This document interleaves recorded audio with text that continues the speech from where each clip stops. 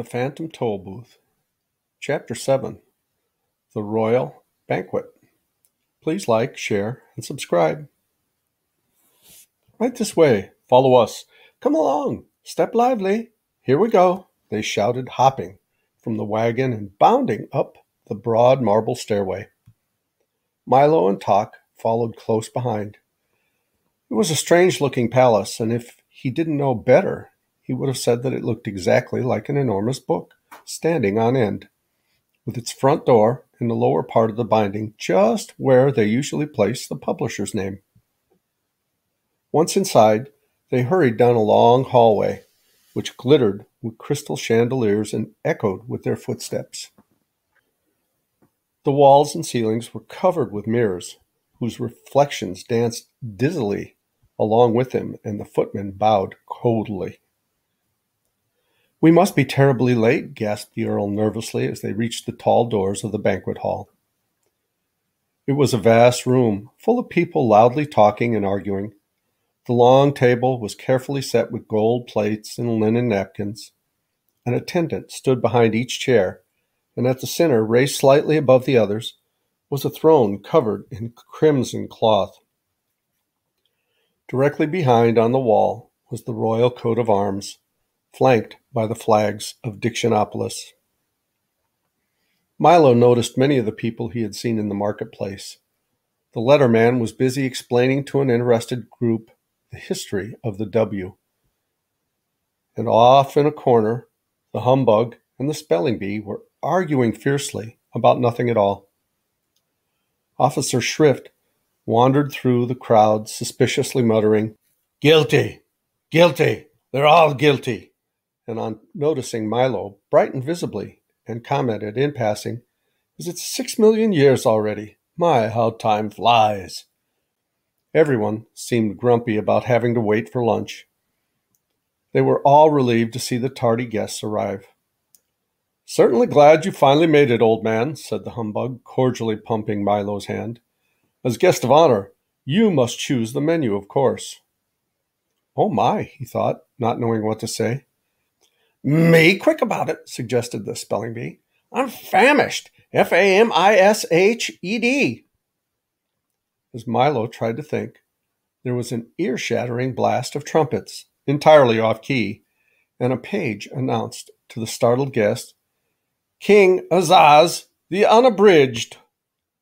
The king strode through the door and over to the table and settled his great bulk onto the throne, calling irritably, Places, everyone! Take your places! He was the largest man Milo had ever seen, with a great stomach, large piercing eyes, a grayed beard that reached to his waist, and a silver signet ring on the little finger of his left hand. He also wore a small crown and a robe with the letters of the alphabet beautifully embroidered all over it. What have we here? he said, staring down at Tock and Milo as everyone else took their place.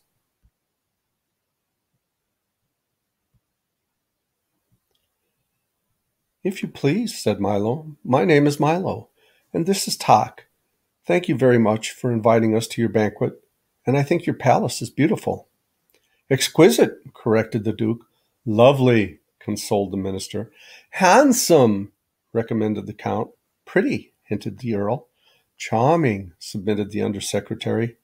Silence, suggested the King. Now, young man, what can you do to entertain us? Sing songs?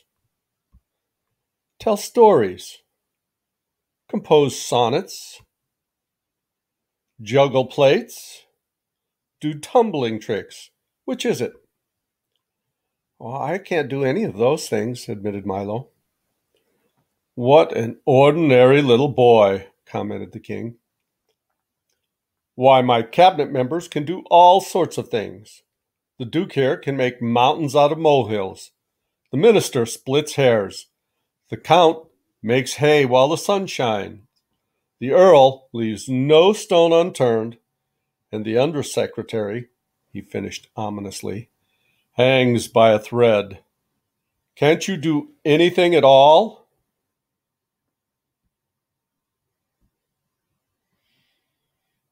Um, I can count to a thousand, offered Milo.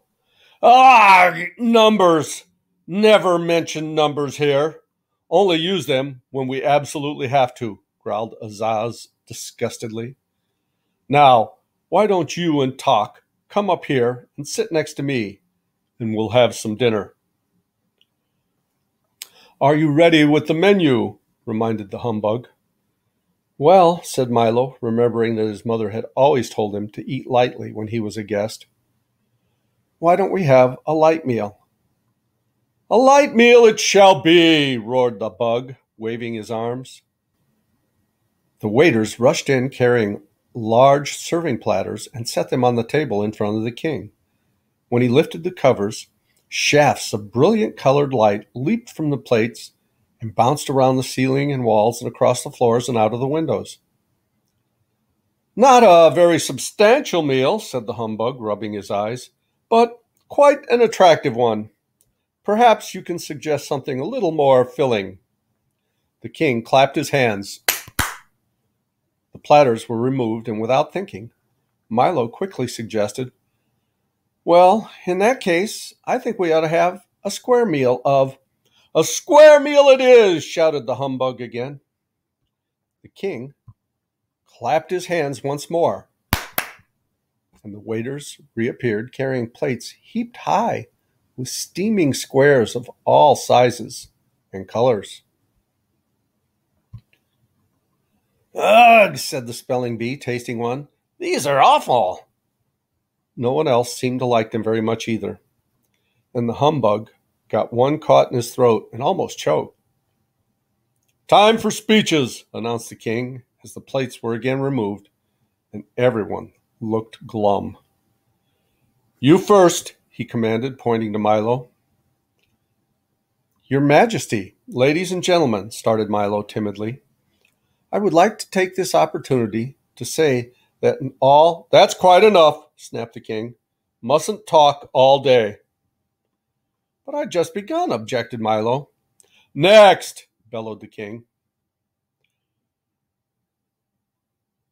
Roast turkey, mashed potatoes, vanilla ice cream, recited the humbug, bouncing up and down quickly.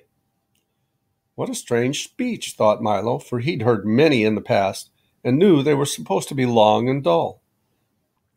Hamburgers, corn on the cob, chocolate pudding, P U D D I N G, said the spelling bee in his turn. Frankfurters, sour pickles, strawberry jam, shouted Officer Shrift from his chair. Since he was taller sitting than standing, he didn't bother to get up. And so down the line it went, with each guest rising briefly, making a short speech, and then resuming his place. When everyone had finished, the king rose. Pâté de foie gras, soupe de légumes, faisan sous cloche, salade endive, fromages et fruits et demitasse, he said carefully, and clapped his hands again.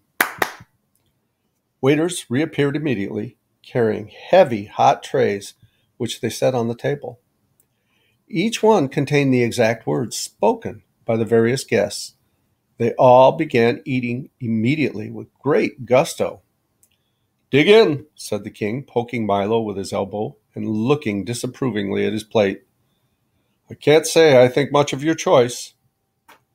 I didn't know I was going to have to eat my words, objected Milo. Of course, of course, everyone here does, the king grunted. You should have made a tastier speech. Milo looked around at everyone busily stuffing himself and then looked at his own unappetizing plate. It certainly didn't look worth eating and he was so very hungry.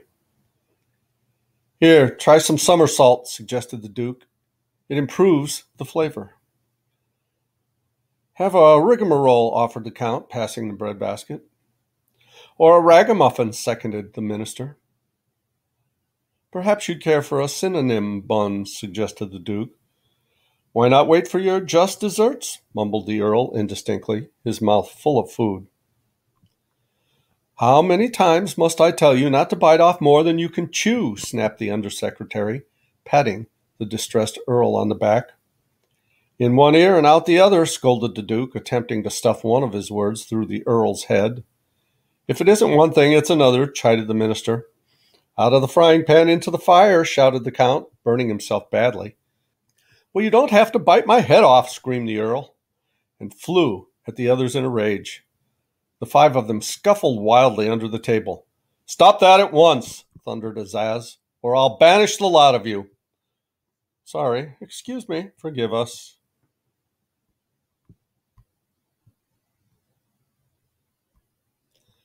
Pardon, regrets. They apologized in turn and sat down glaring at each other. The rest of the meal was finished in silence until the king, wiping the gravy stains from his vest, called for dessert. Milo, who had not eaten anything, looked up eagerly. We're having a special treat today, said the king, as the delicious smell of homemade pastry filled the banquet hall. By royal command, the pastry chefs have worked all night in the half bakery to make sure that. The half bakery? questioned Milo. Of course, the half bakery, snapped the king. Where do you think the half baked ideas come from? Now, please don't interrupt. By royal command, the pastry chefs have worked all night to. What's a half baked idea? asked Milo again. Will you be quiet? growled Azaz angrily. But before he could begin again, three large serving carts were wheeled into the hall, and everyone jumped up to help himself. They're very tasty, exclaimed the humbug, but they don't always agree with you. Here's one that's very good. He handed it to Milo, and through the icing and nuts, Milo saw that it said the earth is flat. People swallowed that for years, commented the spelling bee but it's not very popular these days. D A Y S. He picked up a long one that stated, The moon is made of green cheese, and hungrily bit off the part that said cheese. Now there's a half baked idea, he said, smiling. Milo looked at the great assortment of cakes which were being eaten almost as quickly as anyone could read them. The Count was munching contentedly on It Never Rains But It Pours and the king was busily slicing one that stated, Night air is bad air. I wouldn't eat too many of those if I were you, advised Tock. They may look good, but you can get terribly sick of them.